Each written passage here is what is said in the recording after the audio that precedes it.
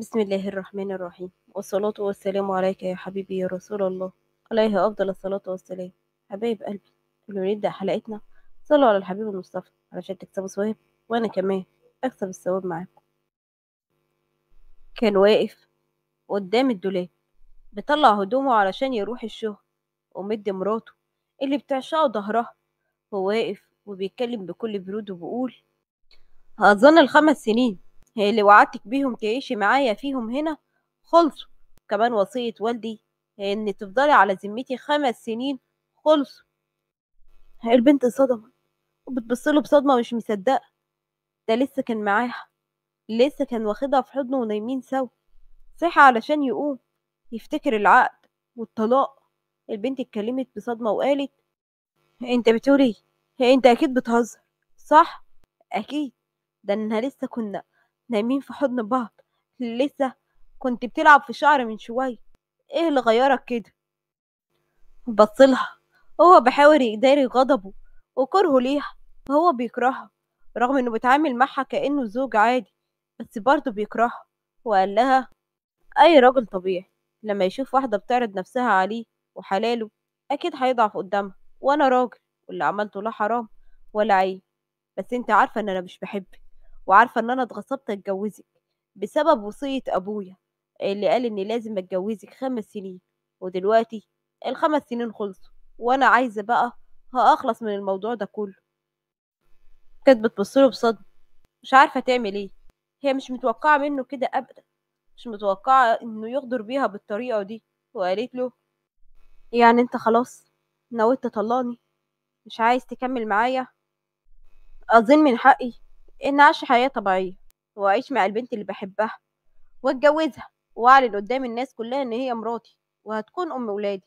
مادام أنت حرمتيني من ده زمان مش تحرميني منه كمان دلوقتي. معاك حق. تمام. وأنا مستعدية للطلاق.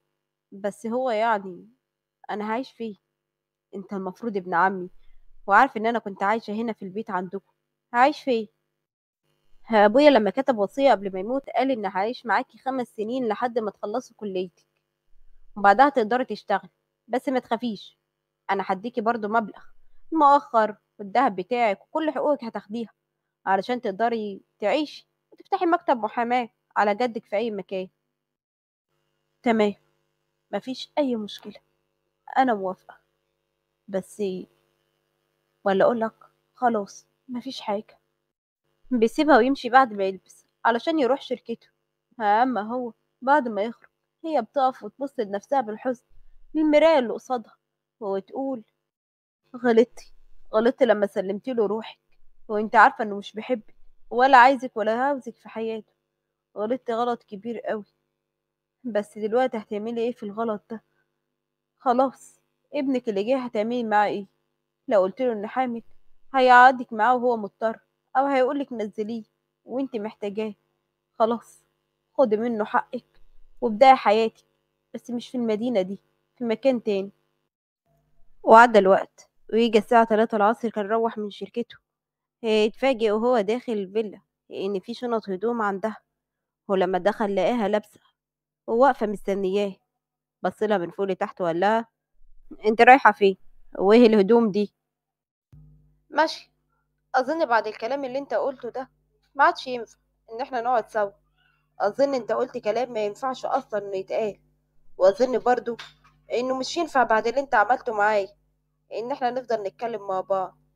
أنا خلاص قررت أمشي وأسيب البيت. مستنياك بس أما تيجي علشان ترمي عليا اليمين. اتخطف من كلامها. هو كان متوقع إن ممكن هي تفضل قاعدة أو إنه يتوصلوا لحل تاني أو إن هي تقول له اتجوز وخليني. انصدمت ده كله بس ما بينش صدمته وقال لها بعد ما نتطلقي أنت هتروحي تعيشي فين؟ هتعيشي مع مين يعني؟ لأ أنا هروح أعيش في شقة ماما شقة ماما اللي في اسكندرية. أنت عارف إن ماما كانت عايشة في اسكندرية هرجع أعيش هناك وهفتح مكتب محاماة أو هشتغل عند أي محامي كبير. انت عارف اني كنت الأولى على دفعتي طول السنين دي علشان كده هروح أشتغل المهنة اللي أنا بحبها وفي الشقة اللي أنا برتاح فيها نفسيا وجسديا. أما بقى بالنسبة لحقوقي فأنا وأنا بلم هدومي لقيت الدفتر اللي أنت كنت عاملهولي الحساب البنكي اللي فيه مبلغ يعني. المبلغ ده هو هيكون حقوقي كمؤخر وكدهب أكيد يعني مش عندك اعتراض. وأنا مضيت لك على ورق فوق يثبت إن أنا أخدت كل حقوقي.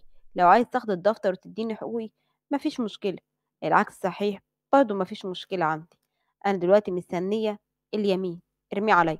آه أنا ما خدتش الخاتم الألماظ اللي أنت جبتهولي هدية أو خدت أي مجوهرات. لو عايز تطلع تشوفها هتلاقيها مكانها وأنا أقعد هنا لعند ما تفتش حاجتك. انصدم لما قالت له لو عاوز تفتش ويشوف حاجتك. قال لها أنت بتقولي إيه؟ أفتش وراك إيه؟ والحاجة دي مش خدتيها ليه؟ دي بتاعتك أنت يا كنزي. لا يا أسامة دي ملك مراتك اللي أنت اخترتها. أما أنا واحدة انسالت عليك واحدة حدفت نفسها عليك بعد ما لقيت عمها موصي إن هي لازم تتجوز ابن عمها وما ينفصلوش إلا بعد خمس سنين. وابن عمها اضطر يتجوزها بقت تروح علشان ترضيه كأنها زوجة ما تعرفش إن هي داست على كرامتها باللي هي عملته. أنا بعتذر لك إني تقلت عليك بعتذر لك على كل حاجة حصلت مني. علشان كده أنا خلاص لازم أمشي واسيب كل حاجة مكانها. لصاحبتها الحقيقيه اللي أنت تختارها ربنا يا رب يوفقك. أنا مستنياها منك يا أسامة. ارمي عليا يمين الطلاق. هو أسامة فضل يبص لها فجأة يبص لها كتير قوي وقال لها أنت طالق يا كنزي ورقتك هبعتها لك على عنوان مامتك. شكرا ليك بس ممكن بس تخلي أي حد من السواقين عم أحمد أو إبراهيم أو مصطفى يوصلوني لحد محطة القاهرة؟ إيه اللي بتقوليه ده يا كنزي؟ وعربيتك فين انت هتاخد عربيتك. مش هقدر يا أسامة.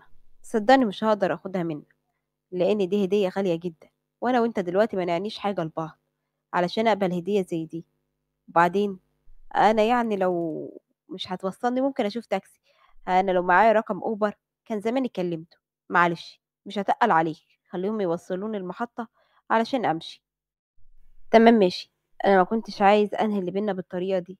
بس انت مادام كده هتبقي مرتاحة أنا ما يهمنيش غير راحتك.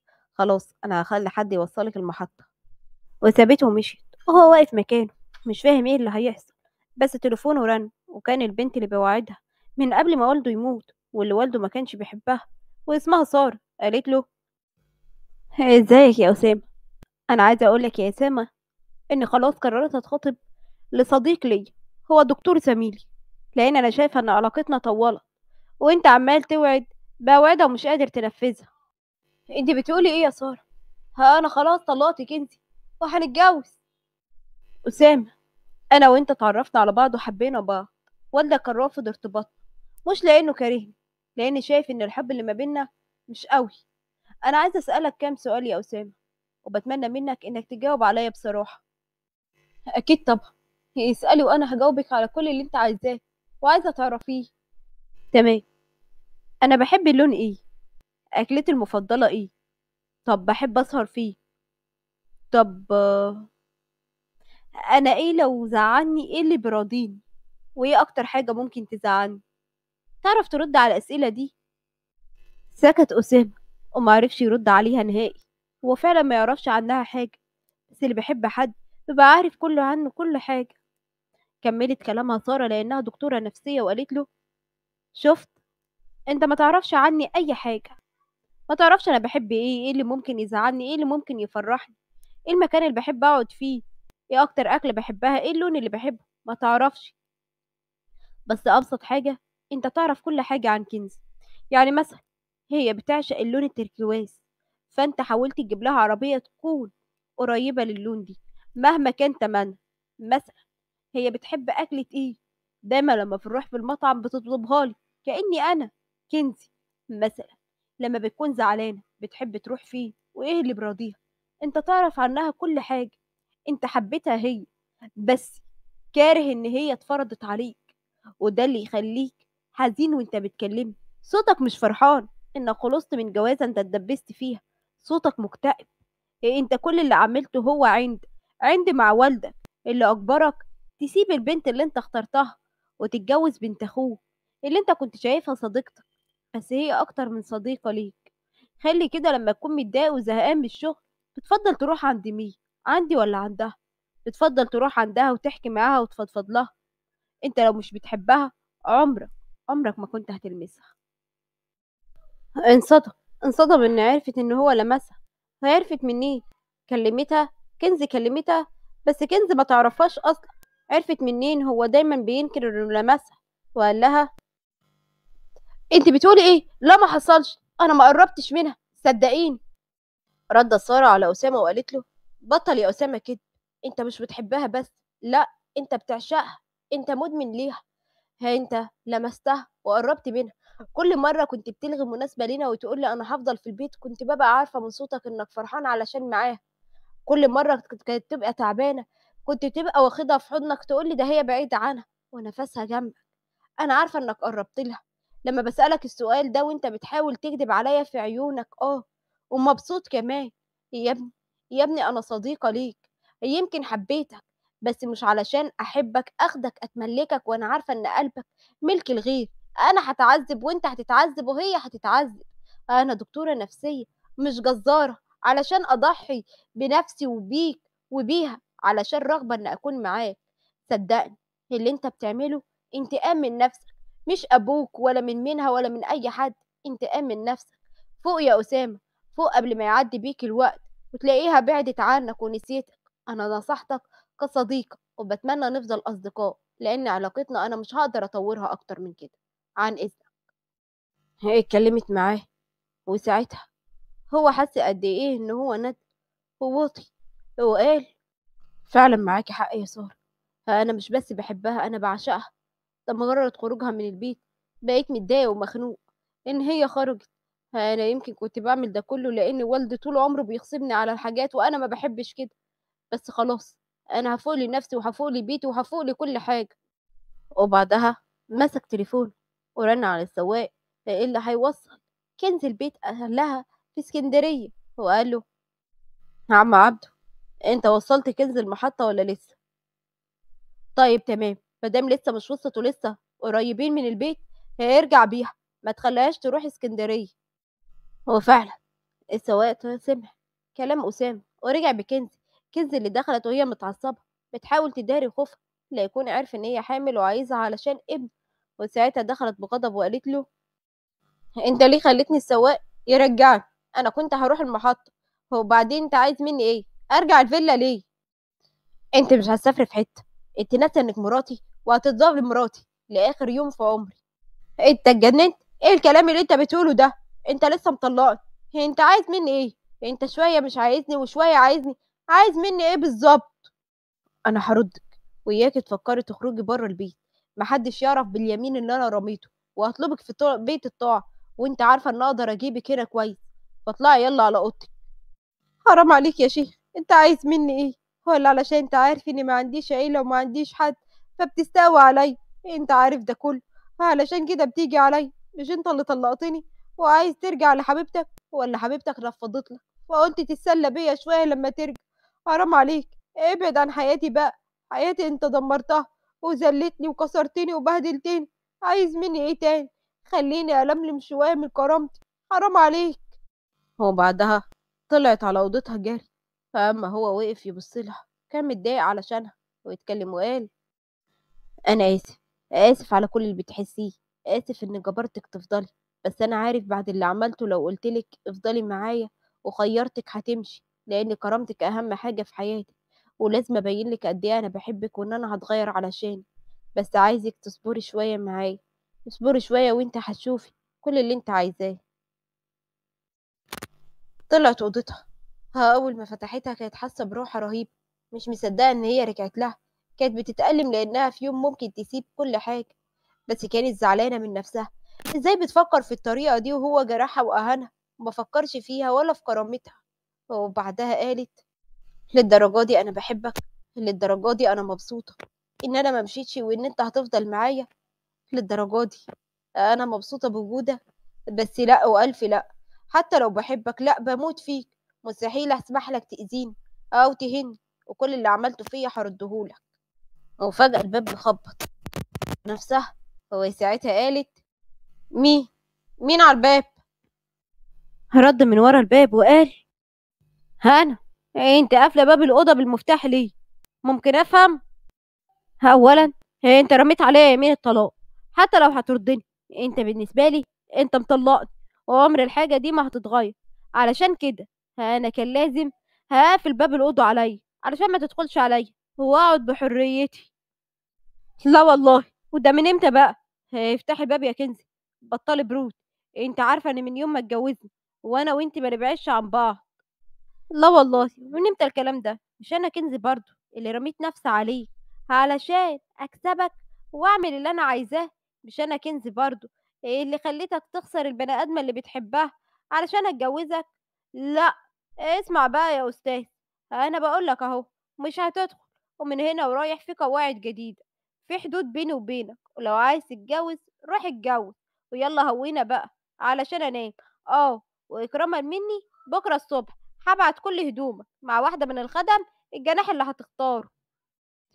كان كلامها ليه بالصيغة كلّها وجع، بس برضه كانت فرحانة ما تعرفش إيه السبب، أمّا هو كان موجوع على وجعها، هو يتكلم بينه وبين نفسه وقال: "أنا معاكِ يا كنزي، وهاداوي كل الأوجاع اللي أنا كنت السبب فيها، هاوعدِك إني هاعالج كل أوجاعِك يا قلبي."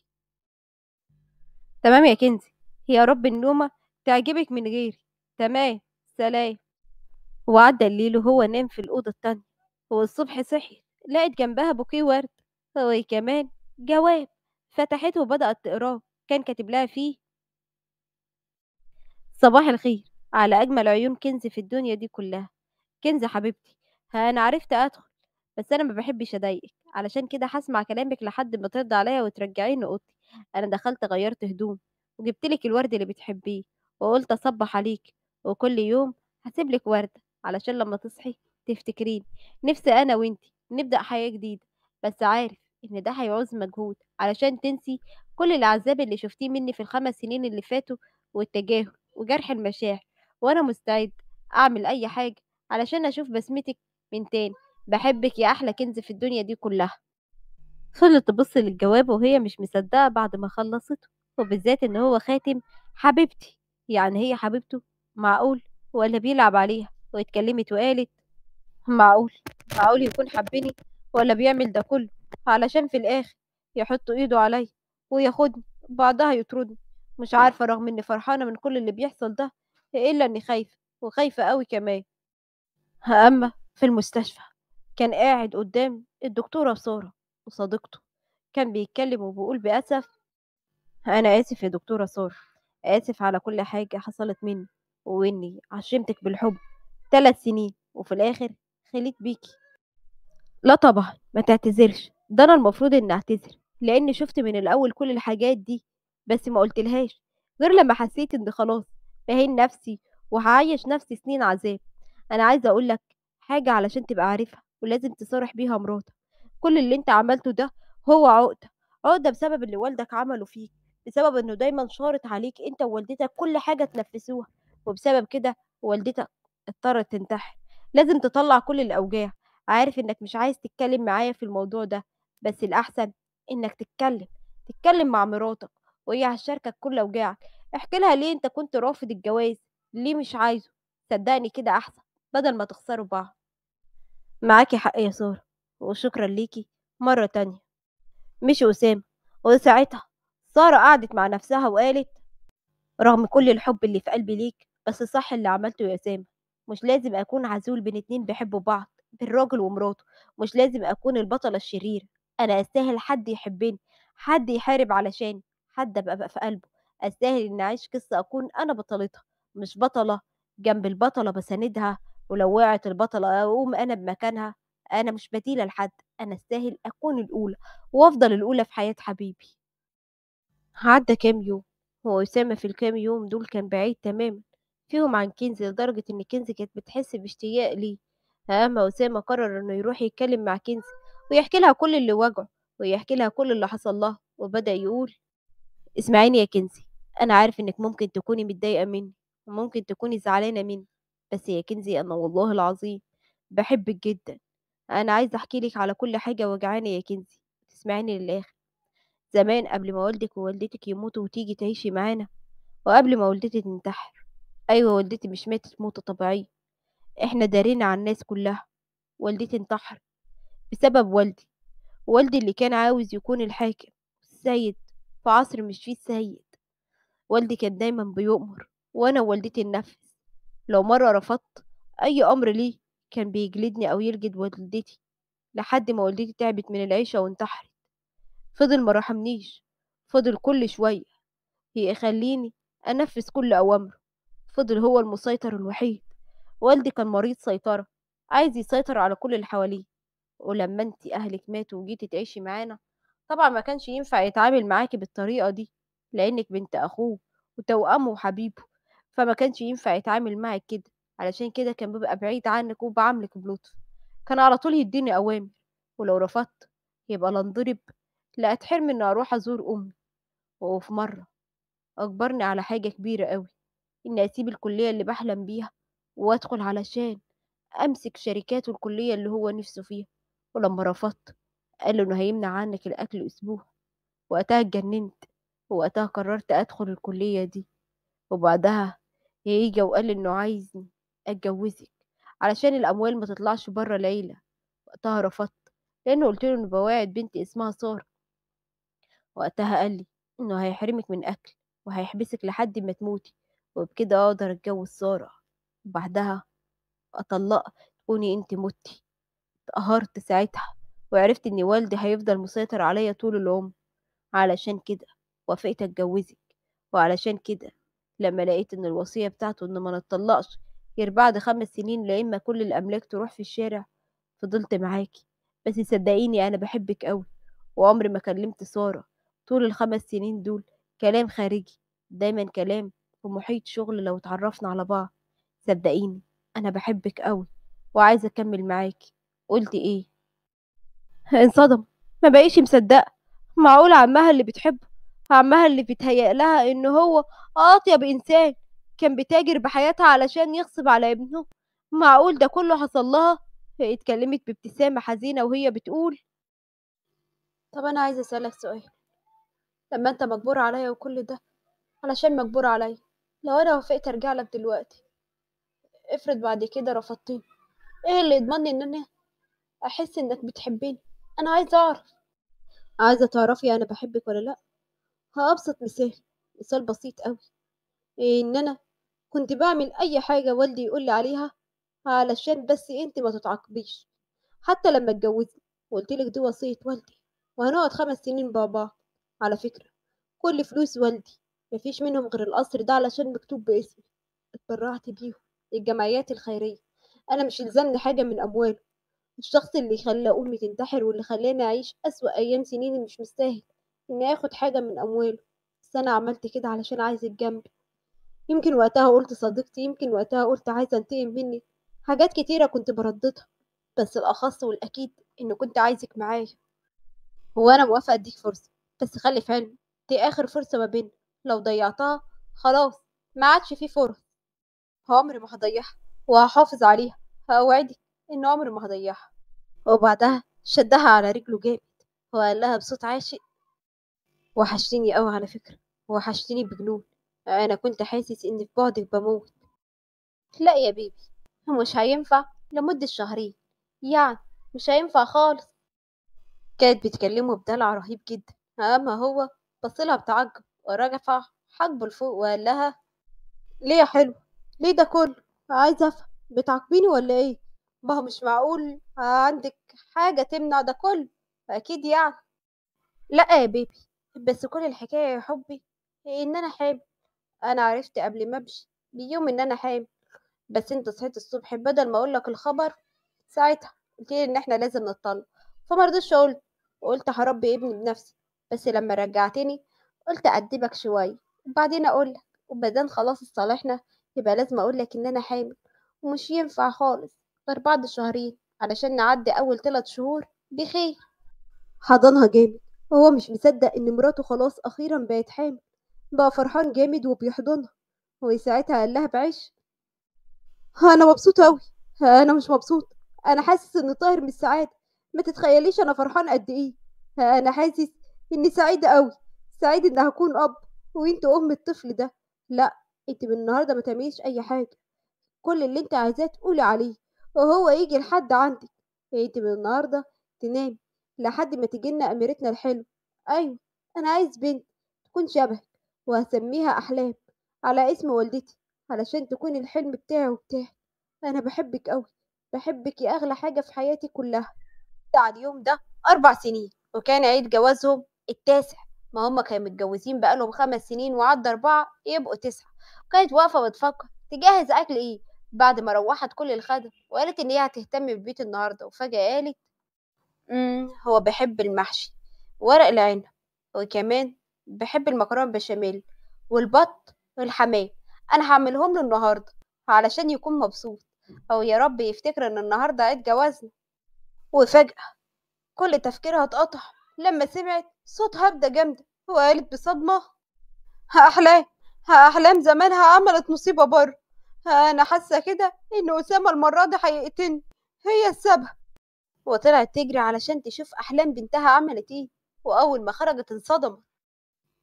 طلعت لقت ال lap بتاع جوزها مرمى على الأرض صرخت وقالت حرام عليكي يا أحلام إيه اللي دخلك المكتب؟ أبوكي هيموتني كل يوم عاملة مصيبة ودلوقتي كسرت ال lap هقول له إيه؟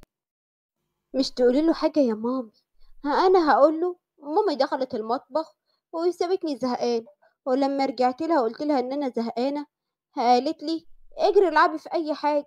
وساعتها أنا دخلت مكتبك وأخدت اللاب بتاعك وقلت لماما إن هعمل كده وماما وافقت ومش اعترضت وأنا أخدته أسمع فيلم كرتون بس اتكسر مني وماما هي السبب. فهيزعقلك أنا؟ انصدم انصدمت جدا. وبقت مش مصدقة إن بنتها تفتري عليها كده؟ وفي الوقت ده هي اجا ساعتها أسامة وبنته وقفت ورا ظهره وهو واقف يبصلها كأنه بيقول لها إيه اللي حصل لله وساعتها هي قالت له والله العظيم يا أسامة البت دي كدابة. أنا شغلت لها الكرتون على التلفزيون. وقلت لها تسمعه. معرفش ليه دخلت الأوضة وجابت اللاب. والله ماليش دعوة. ما صدقهاش يا بابي. ماما بتكذب عليك. علشان هي اللي عملت كده وقالت لي ألعب في اللاب بتاعك علشان هي مش فاضية. كنزي إيجا تتحرك علشان تضرب أحلام. بس أسامة خدها في حضن.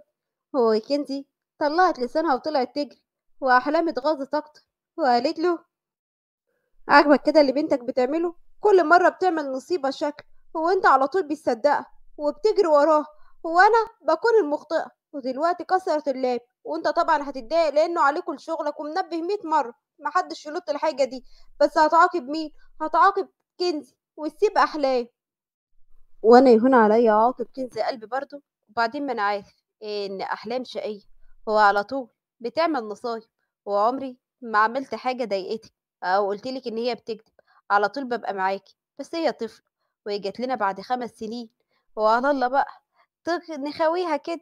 النهاردة عيد جوازنا التاسع إيه هو أنت كل خمس سنين هتجيبي لي عيل ولا إيه؟ أنا عايز عيال كتير قوي عيال كتير جدا. أنا عايز منك دستة عيال. آه دستة عيال. أصلا هنهض كل شوية عيل. لا يا حبيبي فوق كده وركز. أنا مش منهضة على ست أحلام بتاعتي. هي اللي بتعاملني كأني مرات أبوها مش أمها أو ضرتها ودايما بتعمل نصايب وتلبسها فيا وأنت بتدافع عنها. فوق كده. أنا قدامي كمان سنتين تلاتة. عم فوق من أحلام هان أبقى أفكر أجيب بيبي تاني. بس بقولك إيه؟ أنت وحشتني قوي كل سنة وأنت طيب. وأنت معايا. دايما بتبقي متعصبة. من أعمال الأحلام ودايما بتزعقي بس في ثانية بتروقي وده أحلى حاجة فيكي قلبك الطيب اللي في ثانية بيروق من كل الزعل ومن كل الهم وما بهونش عليه ينكد علينا كل سنة وإنت في حياتي كل سنة وإنت سعيدة معايا ويا رب أقدر أسعدك طول العمر. وتوتة توتة توتة هي خلصت الحدوتة حلوة يا بنات ولا بنتوتة؟ وبكده يا أحلى جمهور في الدنيا دي كلها تكون انتهت حلقتنا. حلقتنا النهاردة فيها درس مهم أوي عن الأخلاق وعن الحب وعن حاجات كتيرة أوي وعن الضحي علشان اللي بتحبه. أولا أسامة ضحى كتير علشان كنزي ضحى مستقبله التعليم لما أبوه ضغط عليه وضحى بحبيبته لما كان فاكر إنه بيحبها علشان خاطر كنزي وما تعانيش معاه نفس المعاناة اللي بيعانيها هو وأمه. والكل راجل حابب يفرض السيطرة على زوجته وعلى ولاده ويحسسهم إن السيد زمن الأسياد مات كل واحد بيختار طريقه. واجبك إنك بس توجههم واجبك إنك بس تدلهم على الصح. بس مش كل حاجة إجبار وابتزاز وغصب في حاجات لازم تكون برضا الشخص، مش ينفع كده، باتمنى من كل أب بيعمل الأعمال دي بلاش، علشان في الآخر هتخسر ولادك وهتخسر نَفْسك وهتخسر اللي بتحبهم، وهتلاقي نَفْسك وحيد في الدنيا دي. باتمنى إن القصة تكون عجبتكم، وإذا عجبتكم لا تنسوني باللايك والاشتراك في القناة وتفعيل زر الجرس. دمتم في حفظ الله ورعايته.